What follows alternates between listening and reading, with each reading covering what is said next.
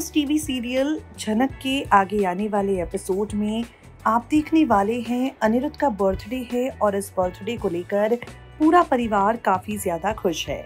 Show के आगे आने वाले ट्रैक में आप देखने वाले हैं हाई वोल्टेज ड्रामे जहाँ पर आपको नज़र आएगा कि अनिरुद्ध ने झनक से डिमांड की है कि वो उसके बर्थडे पर बनाए उसकी पसंद का कश्मीरी खाना झनक ये कश्मीरी खाना बनाएगी भी मगर अफसोस, ये खाना अनिरुद्ध को उसका परिवार नहीं खाने देगा। अनिरुद्ध का परिवार कहेगा कि झनक का खाना खाने लायक नहीं है। झनक इस घर में रहने लायक नहीं है।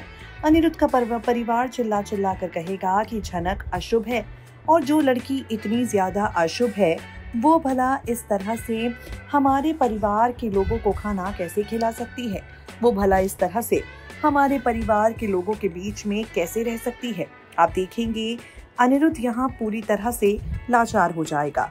वो ना तो झनक का बनाया खाना खा पाएगा और ना ही झनक की बनाई खाने की तारीफ़ परिवार के लोगों के सामने कर पाएगा। शो के आगे आने वाले ट्रैक में आप देखेंगे हाई वोल्टेज ड्रामे जहाँ पर अनिरुद्ध और झनक ये दोनों एक दूसरे को लेकर एक अजीब सी कश्मकश महसूस कर पा रहे होंगे। अनिरुद्ध और झनक दोनों ही एक दूसरे को लेकर काफ़ी ज़्यादा मन में प्यार महसूस कर पा रहे होंगे, लेकिन ये प्यार कोई भी फ़ोटो से इजहार नहीं कर पाएगा। आप देखेंगे, यहाँ पर अनिरुद्ध का मन तो करेगा, झनक के हाथ का बना खाना खाने का, लेकिन वो परिवार के सामने मजबूर हो जाएगा और कुछ भी नहीं कह पाएगा। झनक के हाथ का बना खाना अब अकेले में अनिरुद्ध खा पाता है या नहीं, शो के आगे आने वाले एपिसोड में देखना होगा।